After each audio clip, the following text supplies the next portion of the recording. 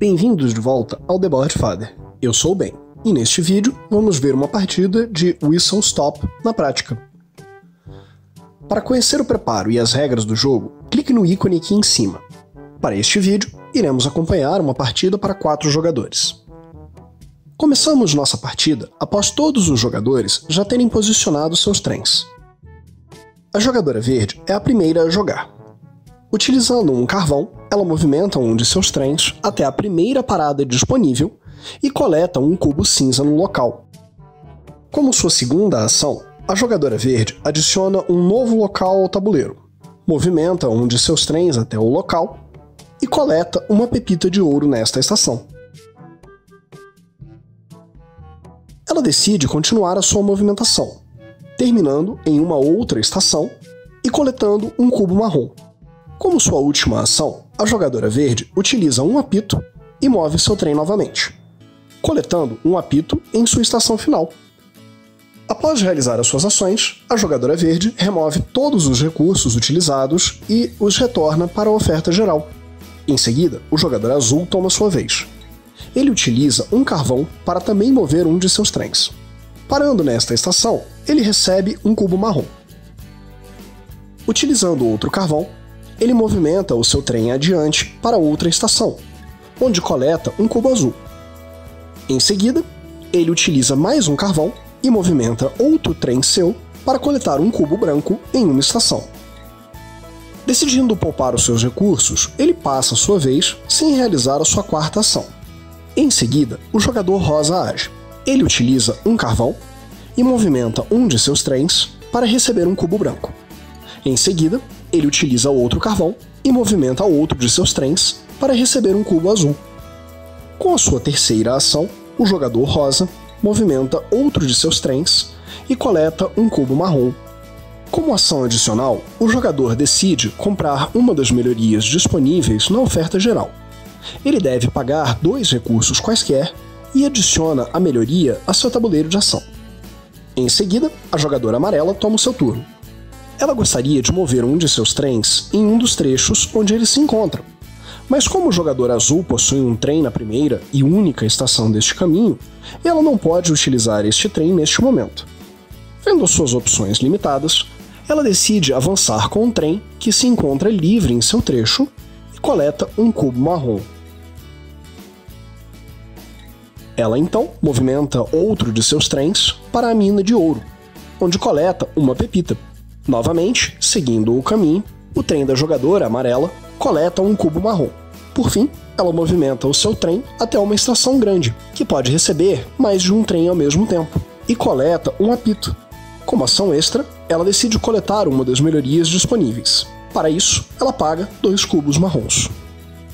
Com isso, encerramos a primeira rodada.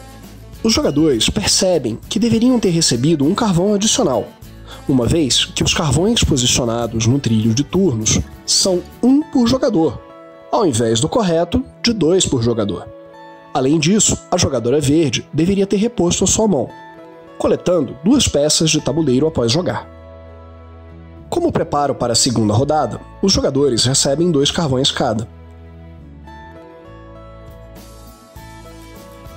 Novamente, a jogadora verde inicia a rodada. Como sua primeira jogada, ela utiliza um apito para fazer um de seus trens andarem duas paradas para trás. Parando na mina de ouro, ela coleta uma pepita. Utilizando um carvão, ela movimenta outro trem em um espaço adiante, adicionando uma de suas peças ao tabuleiro.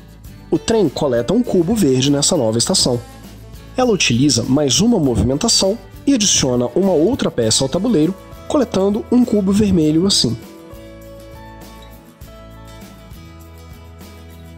Ela encerra o seu turno utilizando dois cubos, um marrom e um cinza, para adquirir a melhoria anteriormente adquirida pelo jogador rosa.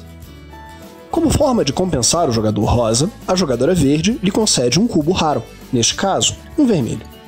Ela utiliza sua melhoria para trocar um carvão por um cubo de recurso raro. Por fim, ela repõe a sua mão com novas peças de tabuleiro e remove os recursos de seu tabuleiro. O jogador azul toma sua vez.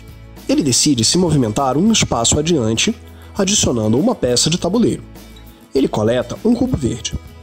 ele movimenta outro de seus trens para uma estação e paga um cubo azul e um verde para adquirir um certificado de ação azul. Ele decide andar mais um espaço com outro de seus trens, adicionando uma fábrica de apitos e coletando ali um apito. Ele utiliza o seu recém-adquirido apito para movimentar um trem para o armazém geral, onde ele coleta um recurso raro. Ele repõe a sua mão e passa a sua vez. O jogador rosa realiza sua primeira jogada movimentando-se e coletando um cubo marrom. Uma nova movimentação lhe permite coletar um cubo branco. Ele utiliza um apito para movimentar o seu trem dois espaços, adicionando uma peça nesta ação. Ali, ele coleta um apito. Por fim, ele utiliza um carvão para movimentar outro trem para o armazém geral e coleta mais um recurso. Ele repõe a sua mão e passa a sua vez. Finalmente, a jogadora amarela toma sua vez. Ela utiliza um apito para mover o seu trem até a mina de ouro e coletar uma pepita. Com um carvão, ela movimenta o seu trem adiante e coleta um cubo vermelho. Ela utiliza outro carvão para mover um trem adiante pulando a estação ocupada por seu trem e coletando mais uma pepita na mina de ouro. Como sua última movimentação, ela coleta um cubo azul. Ela repõe a sua mão e encerra o seu turno. Isso encerra a rodada e a nossa demonstração. Neste vídeo, vimos um trecho de Whistle Stop, por Scott Caputo, na prática. Obrigado por assistir ao nosso vídeo. Caso tenha alguma dúvida ou sugestões, deixe um comentário aqui embaixo Responderemos assim que pudermos. Até a próxima, pessoal!